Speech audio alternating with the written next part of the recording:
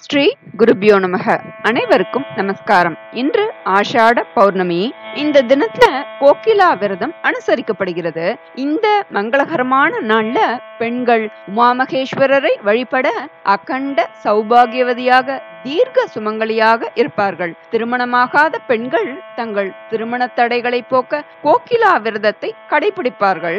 இந்த விரதம் பௌம தோஷம் அதாவது செவ்வாய் தோஷம் போன்ற தோஷங்களை நீக்குகிறது. திருமணமான பெண்கள் இதை கடைபிடிக்க மகிழ்ச்சியான திருமண வாழ்க்கை மற்றும் தங்கள் கணவரின் நீண்ட ஆயுளை பெறலாம் அப்படின்னு சொல்லப்பட்டது குடும்பத்தில் வழக்கமுள்ளவர்கள் இந்த விரதமிருந்து வழிபடலாம். இல்லாதவர்கள் இன்று இந்த சக்தி வாய்ந்த பார்வதி ஸ்தோத்திரம் சொல்லி அம்பாளை வழிபட சகல மங்களங்களும் வந்து சேரும். முக்கியமாக திருமண தடை நீங்கும்.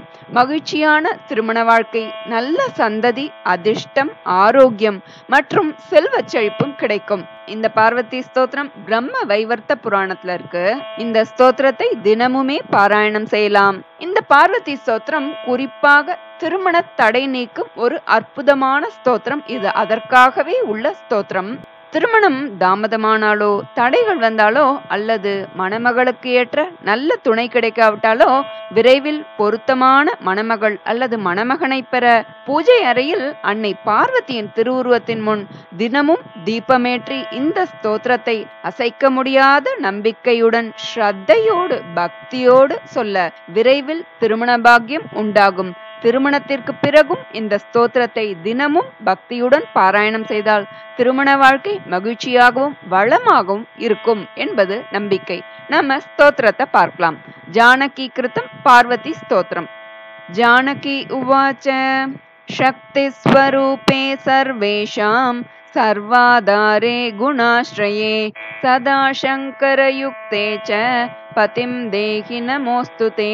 शक्तिस्वरूपे सर्वेषां सर्वाधारे गुणाश्रये सदा शङ्करयुक्ते च पतिं देहि नमोऽस्तु ते।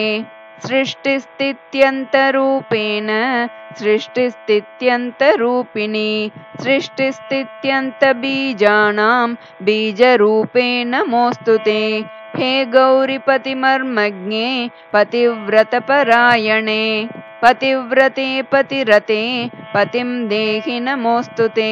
सर्वमङ्गलमङ्गल्ये सर्वमङ्गलसंयुते। सर्वमङ्गलबीजे च नमस्ते सर्वमङ्गले सर्वमङ्गलमङ्गल्ये सर्वमङ्गलसंयुते सर्वमङ्गलबीजे च नमस्ते सर्वमङ्गले। सर्वप्रिये सर्वबीजे सर्वाशुभविनाशिनि सर्वेशे सर्वजनके नमस्ते शङ्करप्रिये। परमात्मस्वरूपे च नित्यरूपे सनातने साकारे च निराकारे सर्वरूपे नमोऽस्तु ते। क्षुतृष्णे च दया श्रद्धा निद्रा तन्द्रा स्मृतिक्षमा एतास्तव कला सर्वा नारायणि नमोऽस्तु ते।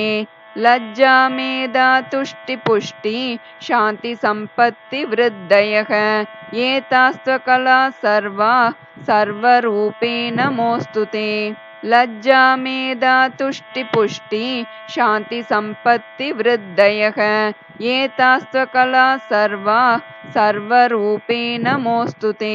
दृष्टादृष्टस्वरूपे च तयोर्बीजफलप्रदे। सर्वानिर्वचनीये च महामाये नमोऽस्तु ते।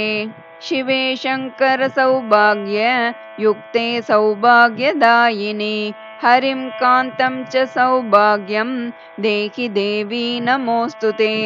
शिवे शङ्करसौभाग्य युक्ते सौभाग्यदायिनि। हरिं कान्तं च सौभाग्यं देहि देवी नमोऽस्तु ते। स्तोत्रनानेन या स्तुत्वा समाप्तिदिवसे शिवां।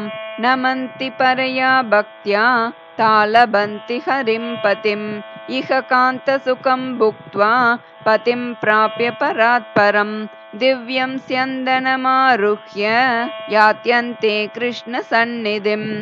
इह कान्तसुखं भुक्त्वा पतिं प्राप्य परात् परं दिव्यं स्यन्दनमारुह्य यान्त्यन्ते कृष्णसन्निधिम् इति श्रीब्रह्मवैवर्तपुराणे जानकीकृतं ஸ்ரீபார்வதிஸ்தோத்திரம் சம்பூர்ணம் இந்த பார்வதி ஸ்தோத்திரத்தை தினமும் பாராயணம் செய்ய பொருத்தமான வரன் விரைவில் கிடைக்கும் குடும்பத்தில் மகிழ்ச்சியும் தம்பதிகளுக்குள் அந்யோன்யமும் ஏற்படும் இந்த நன்னாளில் இந்த ஸ்தோத்திரத்தை பாராயணம் செய்து அன்னையின் அருளை பரிபூரணமாக பெறுவோம் சகல சௌபாகியத்துடன் மகிழ்ச்சியாக வாழ்வோம் நல்லதே நடக்கும் நமஸ்காரம்